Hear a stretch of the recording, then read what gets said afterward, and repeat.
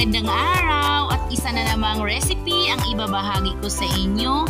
Muli, welcome back to my YouTube channel, Mommy March Vlog.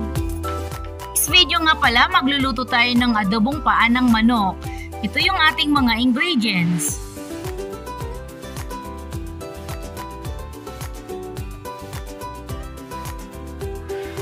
Dito sa ating mainit na kawali, maglagay lang ko dito ng konting cooking oil. Igisa ko lang dito si bawang. Pagkatapos pag alam na natin na luto na yung bawang, ilagay na rin natin yung sibuyas.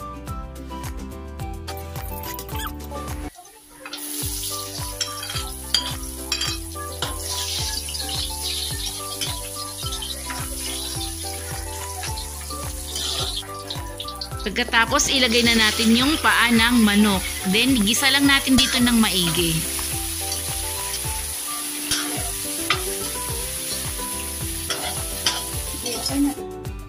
Pagkatapos natin maigisa yung ating paa ng manok, ilagay na natin yung oyster sauce.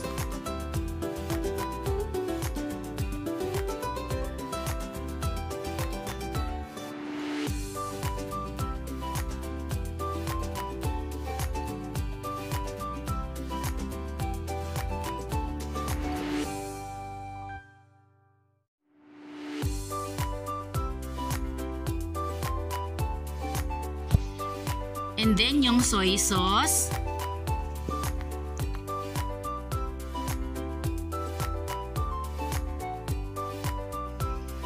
Then mix-mix lang natin.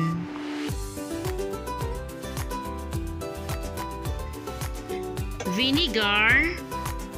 After na mailagay natin yung vinegar, wag muna nating haluin. Kukover ko muna siya dito.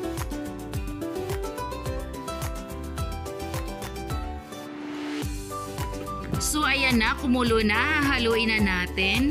Pagkatapos lagyan na natin siya ng paminta.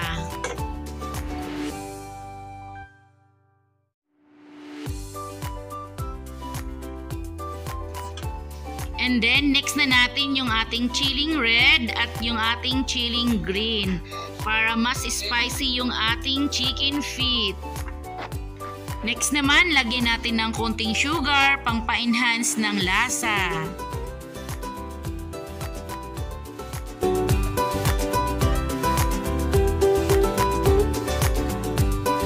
Lagyan rin natin ng konting salt.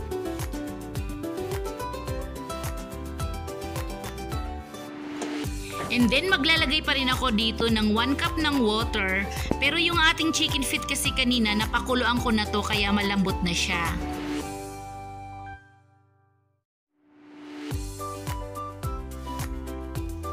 And then naglagay pa rin ako dito ng another 1 cup ng water para mas lalong lumambot yung ating chicken feet.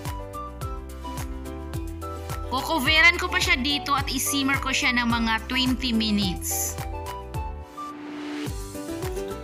After 20 minutes, ayan na po yung ating chicken feet. Luto na ang ating adobong paa ng manok.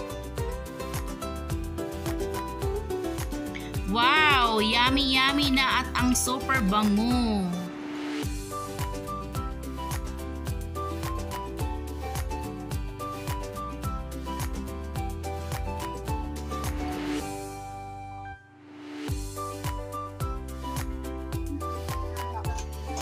So ayan, lagay na natin sa ating serving plate.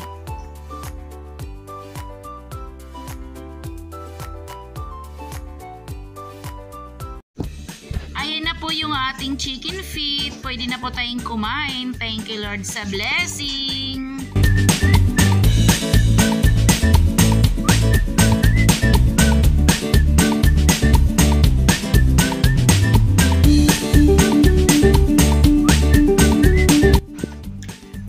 Watching. Please like and subscribe. See you in my next video. Bye. God bless.